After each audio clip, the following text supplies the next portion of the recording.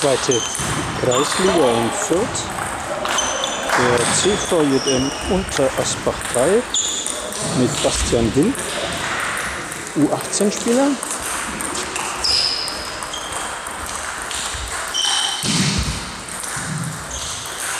Und konstant in aufsteigender Form.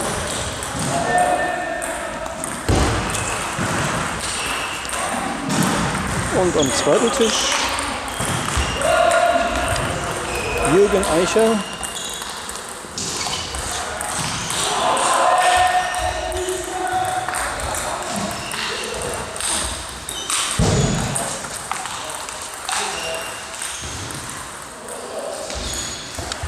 Zellrichter am Tisch ist Thomas Böhm aus der Weierhofer Tischtennisfamilie Böhm. Die Nummer 1 in Weierhof, das ist der Andi Böhm. Der spielt in der Landesliga vorne raus. Ein Hammerspiel. Modern, aggressiv, riskant, gefährlich.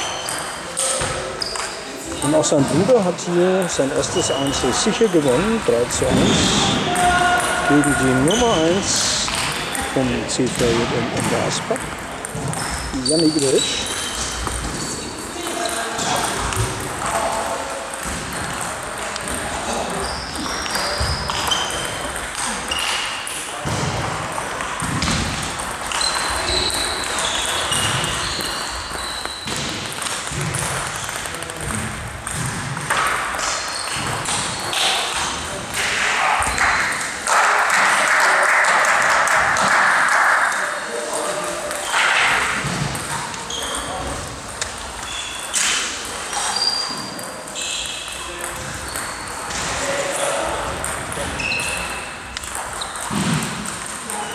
Das ist er, der Papas-Film.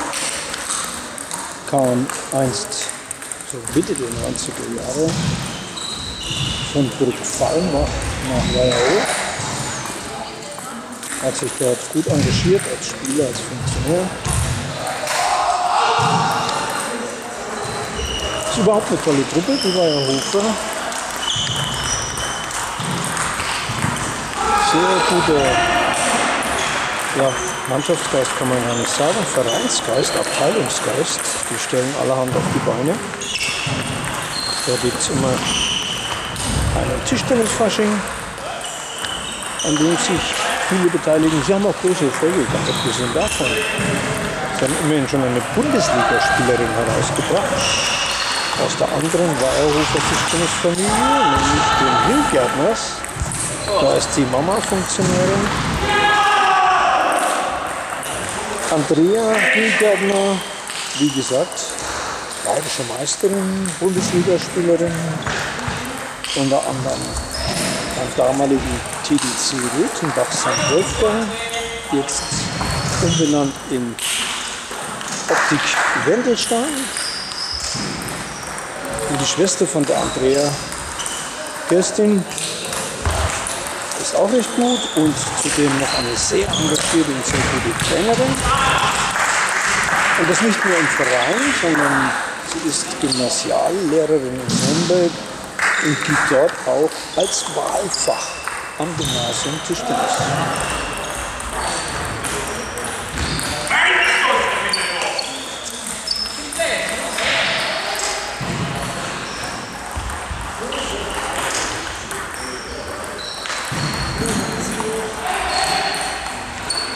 wenn ich mich recht erinnere, war irgendwann einmal sogar eine Jugendmannschaft, eine U18-Mannschaft aus bei einer deutschen Mannschaftsmeisterschaft entweder auf Platz 1 oder zumindest ganz weit vorne.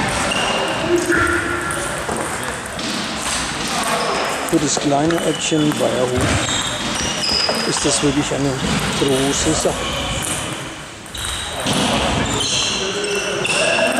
Am 25. Juni 1991 haben die übrigens die Halle eingeweiht, die sie quasi selbst gebaut haben. Also da haben sich alle Vereinsmitglieder richtig daran beteiligt, an diesem Bau. Mit festen Arbeitsstunden.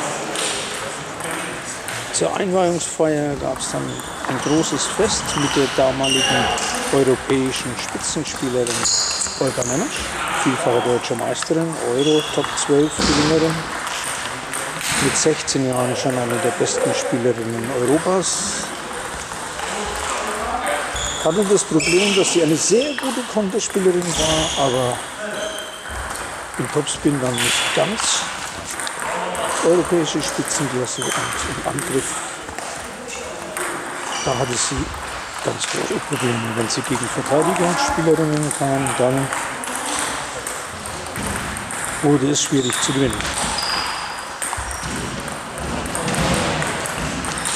Da hat sie einmal ganz legendär auch gegen die Loppenqueen aus Mittelfranken in einem Halbfinale einer deutschen Meisterschaft verloren gegen die Mama von Michael Ziegler, Uschi Oswald Ziegler,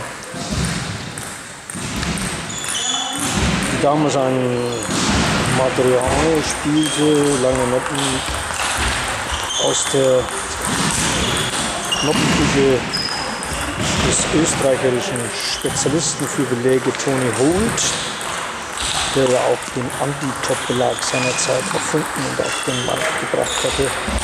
Und mit diesem Belag war die Uschi jahrelang nur ganz schwer zu schlagen. Vor allem, wenn man sie nicht kannte, weil ihr Stil war sehr unorthodox, aber hat genau auf diesen Noppenbelag gepasst. Die Noppenbälle von ihr wirklich artigst zurück.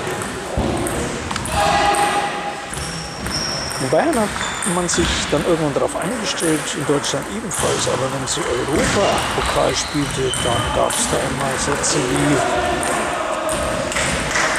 11 zu 2, 11 zu 3 oder falls ich jetzt in der Zeit nicht richtig liege und das noch vorher 11 Regel war, dann waren das eben 21 zu 4, 21 zu 5. Da müsste ich jetzt googeln. Aber jedenfalls Schneider ohne Ende weil sie da auch keiner am Anfang auf der Rechnung hatte, bis es dann rumgesprochen hat. Spiegel natürlich erste Bundesliga. Bei Langweit, soweit ich mich erinnere, oder bei, nein, nicht bei Langweit, sondern bei Glettham Erding hieß der Verein wohl. Wo das Erdinger Weißbier herkommt.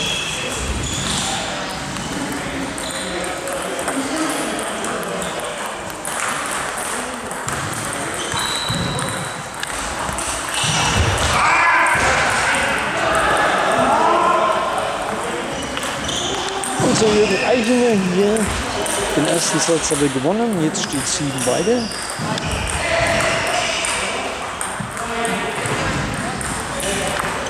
Einer der zuverlässigsten Spieler in seinem Parkholz für die Unterasbacher.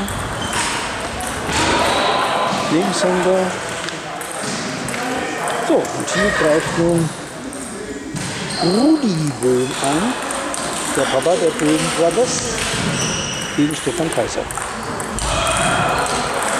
Und das Spiel muss wohl ein gewisser Reinhard Steinbrüche schützen.